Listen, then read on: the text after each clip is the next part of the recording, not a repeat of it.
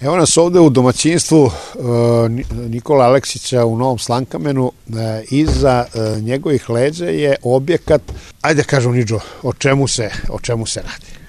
Pa to je mini mlekara za preradu mleka sobstvenog za sada.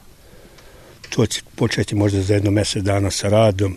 Treba još da izađe inspekcija, da se primi, da krenemo sa jednom količinom mleka, da vidimo kako će ići Šta ste vi planirali tu sada? Si, jogur sirevi.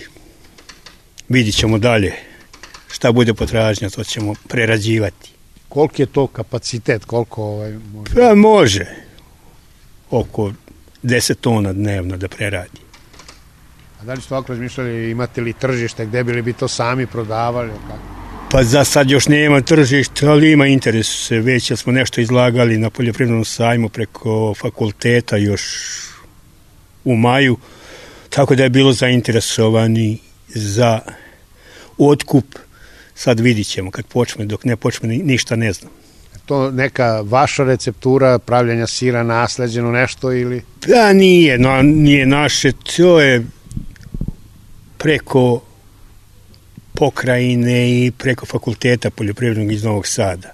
Tu gospođa Anka Vraneš, ona je tu glavna, ona je profesor baš za proizvodnju sireva i toga. Tako da će u početku verovatno ona da nas uvede u posao, a posle moramo tehnologa verovatno jednoga zaposliti.